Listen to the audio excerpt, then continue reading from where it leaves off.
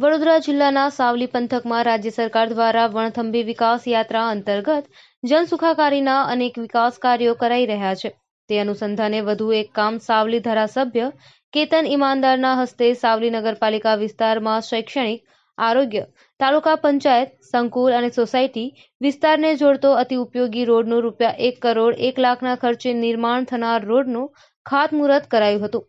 સાથે સાથે અન્ય વિસ્તારમાં પણ એક નવીન નાળાનું રૂપિયા પંદર લાખના ખર્ચે નિર્માણ થનાર નાળાનું પણ ખાતમુહૂર્ત કેતન ઈમાનદાર કરાયું. એમ કુલ એક કરોડ સોળ લાખ રૂપિયાના સાવલી નગરપાલિકા વિસ્તારમાં વિકાસ કાર્યોની ચોમાસા બાદ શરૂઆત થઈ હતી.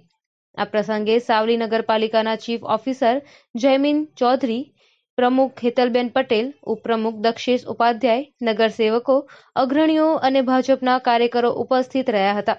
અને ધારાસભ્ય કેતન ઈમાનદારે વિકાસ કાર્યો માટે રાજ્ય સરકારનો આભાર વ્યક્ત કરી નગરપાલિકાના વહીવટીદારો અને ઇજારાદાર એજન્સીને કામની ગુણવત્તા જાળવવા ટકોર કરી હતી.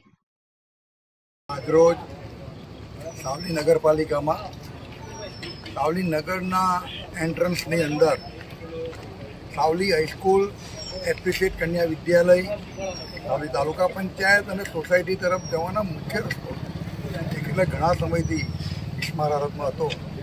રસ્તો એમાં મંજૂર થયેલો હતો નગરપાલિકાએ. એનું આગોતું આયોજન પણ કરેલું હતું. અમે બધાએ જ ભેગા થઈને.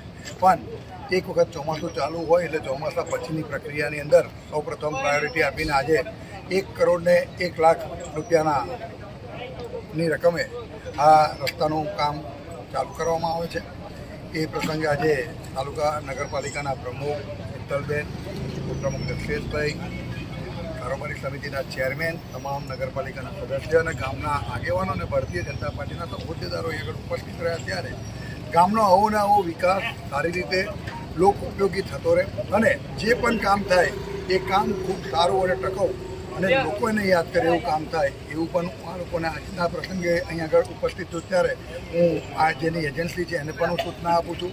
અધિકારીઓને પણ સૂચના આપું છું ને નગરપાલિકાના સત્તાધીશોને પણ કહું છું કે ભાઈ, જે કામ થાય એ કામ ટકાઉ થાય, સારી ક્વોલિટી કામની ક્વોલિટી જળવાય અને આવા આવા કામ ભારતીય જનતા પાર્ટીની સરકારમાં જે થતા રહે છે, એ બદલ ભારતીય જનતા પાર્ટીની સરકારનો પણ